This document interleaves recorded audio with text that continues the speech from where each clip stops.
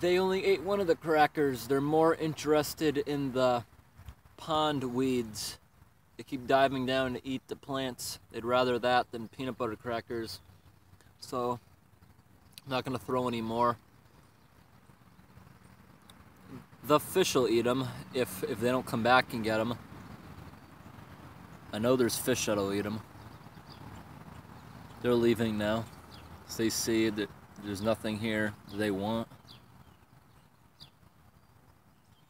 Oh, coming back.